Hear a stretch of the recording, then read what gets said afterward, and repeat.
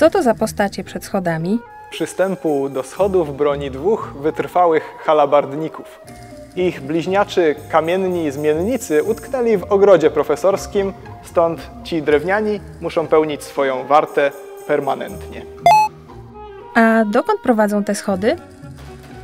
Te majestatyczne, dębowe schody gdańskie mają już ponad 300 lat, ale do dzisiaj są używane. Godne by były wieść do rezydencji królewskiej. Prawda jest jednak bardziej prozaiczna. Dawniej na górze mieszkali profesorowie. Obecnie mieści się tam administracja muzeum. Tędy także my, przewodnicy, schodzimy oprowadzać grupy.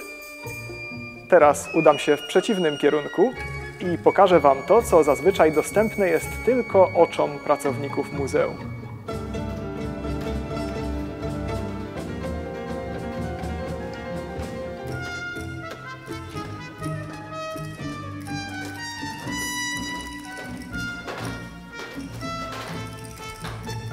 Wychodzimy tędy do tak zwanego holu gdańskiego, w którym wiszą m.in. obrazy Jacka Malczewskiego.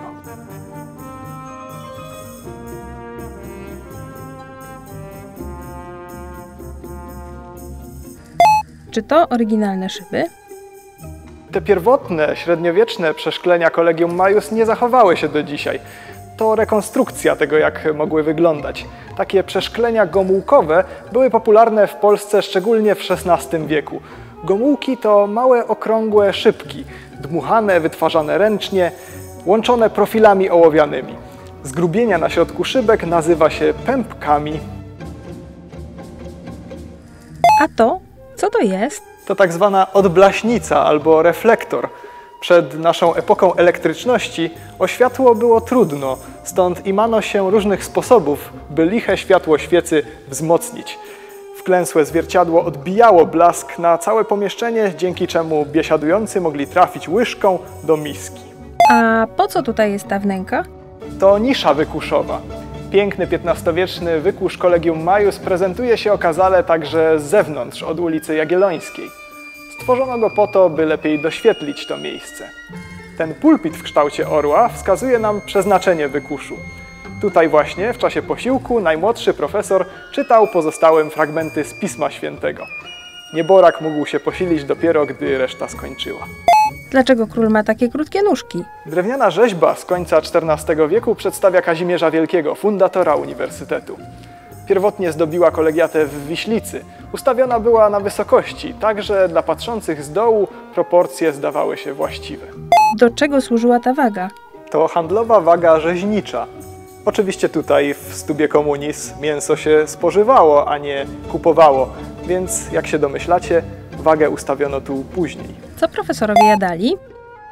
Profesorowie mieszkający w Collegium Maius do końca XVIII wieku wiedli żywot podobny zakonnemu, stąd posiłki przez nich spożywane były raczej skromne. Jadano dużo ryb, owsianki, kasze, kapustę, groch ze smalcem, a rzadziej na stołach gościło mięso, na przykład drób, kurczak, kapłon, czasem wieprzowina, wołowina, a na wyjątkowe okazje pojawiała się sarnina czy zające. Bywały okazje, kiedy profesorowie zapominali o codziennej skromności. Na tak zwanym obiedzie kiermaszowym w roku 1568 wydano iście królewską ucztę z sześciu dań. Pierwsze danie ozory wołowe w sosie kaparowym, drugie kurczęta z rodzynkami i cynamonem, trzecie pieczeń wołowa, czwarte gęś w czarnej jusze z goździkami, piąte ryżowa kasza na mleku z cukrem, szóste czereśnie, groszek w strączkach, ser i opłatki. Wypito pół beczki piwa i trzy garnce wina. Żeby tak poucztować raz w roku, rzeczywiście można było pościć przez resztę dni. Czy to właśnie na tych naczyniach profesorowie jadali? W Stubie Komunis jadało się kiedyś i piło z podobnych cynowych naczyń. Były one własnością kolegium, ale każdy profesor musiał zatroszczyć się o własne sztućce. Dawniej do produkcji cynowych naczyń używano stopu cyny z ołowiem, który, jak wiemy, jest szkodliwy dla zdrowia. Gdzie była kuchnia? Gdzie kuchnia, tam i ogień. A ogień to żywioł nieprzyjazny księgom. Dlatego właśnie kuchnię urządzono po przeciwnej stronie gmachu.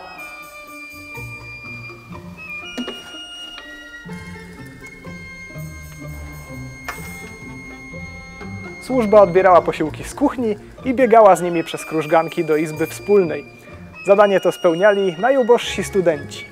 Czy do dzisiaj się tu jada? Czas codziennego brzęczenia naczyń w stubie komunizm przeminął, odkąd profesorowie przestali mieszkać w Kolegium Majus.